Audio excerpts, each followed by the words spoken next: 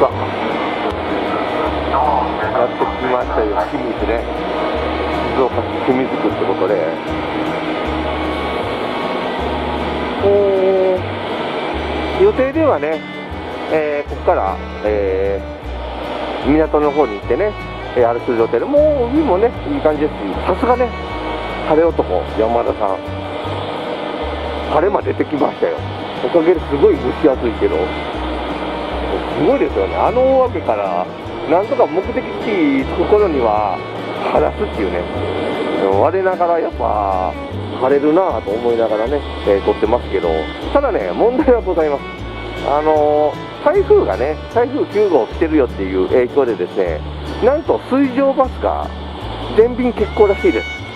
あのー、見た感じね湾内落ち着いた感じには見えるんですけどやっぱしねちょっともう、えー、全便欠航にしますっていうことらしいんで、えー、海渡って向こうにね行けないっていうことらしいんですよね。参ったなどうしようかなっていうところなんやけどあの一応ね確認したらバスが走ってるらしいんですわ。なもんでまあバスで行こうかなと思います。でこれうこれでズトーンってそのままコンコースで通って向こうの方に行けるのよね。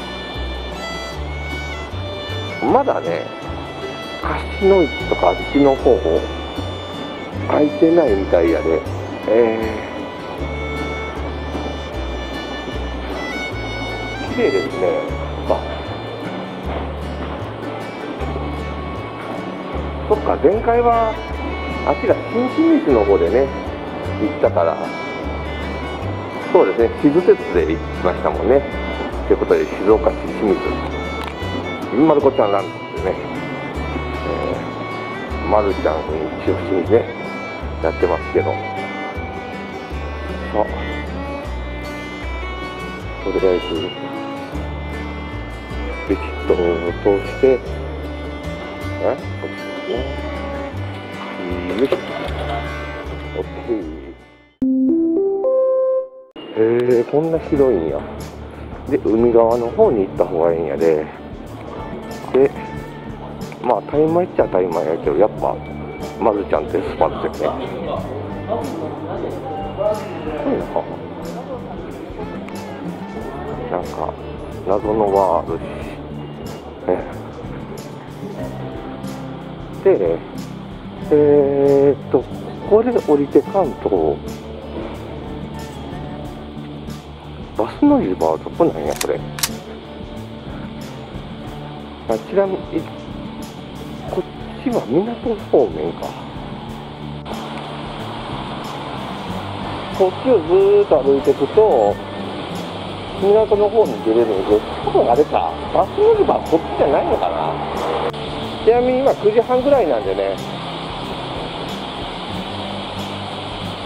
まあ、言うて、えー、2時間半はいかないけどね、2時間今日、えー、ロングシートに揺られるという、まあやっぱししんどいですね。えー、クロスシートやったらこんなにここまできつくないんでしょうけどね。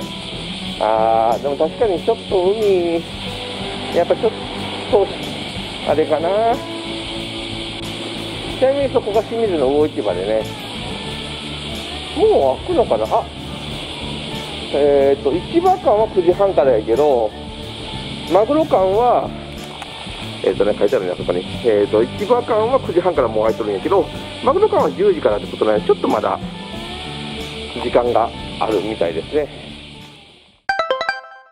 ちなみに今9時23分なんでねちょっとまだだいぶ時間あるな。でこれ渡った向こうからね、えー、本当やったら船も出てるらしいんですけど、えー、残念ながらね、え、今日は船は全便欠航という情報が入りましたので、えー、このね、えーと、そこにちらっと出てるけど美穂っていう方面になりだしてで岬をぐるっと回ったら歩いて40分から50分ぐらいで着くらしいんですけどまあまあな距離ですよね。そう直線距離だったらね20分もかからんかなぐらいらしいんですけど何せ海の中なんで無理やってことでね。でこっちの方とかに食べたりする場所もあるんです。けどこれはちょっと後から行こうかな。まだね、えー、10時30分以上ありますからね。でバスがどんでぐらいで来るのか分かりませんから試しにバス乗り場がどっちこっちじゃないんだろうな。多分向こう側なんだろうな、まあ、今回はうちにしては珍しくそんなに横道取れずにまずは行こうと思います。っていうのがね今ね天気持ってますけどこれまたいつね大雨降ってくるか分かりませんからね。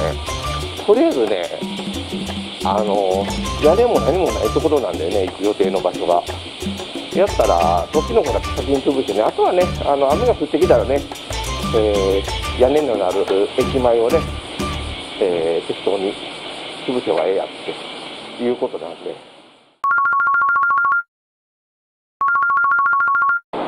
それにしてもブシッとしますね、えー、まあ雨がザーッと降ったのが今どんどん気化してますからね。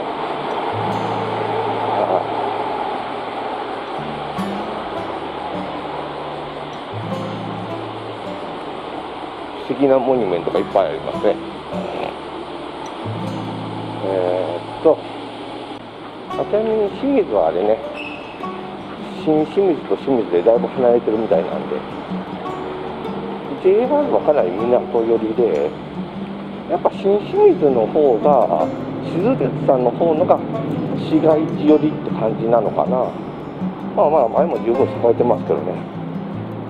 こっちの先じゃなくてこっちの先の方に上がるってことなのかな。うんみたいですね。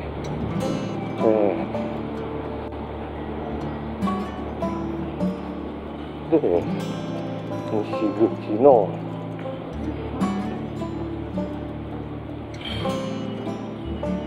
すごいお土産も全部あれないよねでこっち降りた先にあるのかな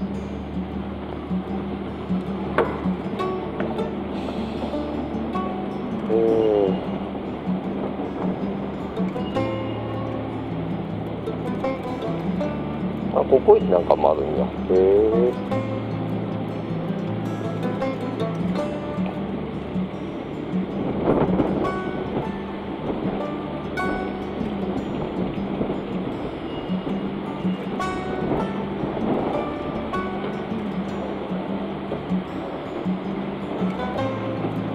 ここのバス停から行けるみたいね。あ吉野家なんかも入ってるんや。へえあ、こっちもいろいろありますね。えー、マップもあるし。で、まあ、手洗い入ってこう。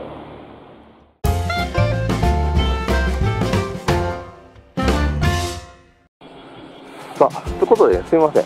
あの、清水の駅前から取ろうとしたらね、もうちょうどバスがね、出てきそうだったんでね、えー、慌てて、えー、乗ってきました。これには、美保車庫。えー、静岡市の清水区はね、一緒なんですけど、美保車庫っていうところに来てます。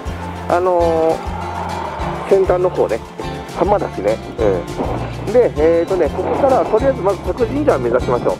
えーとね。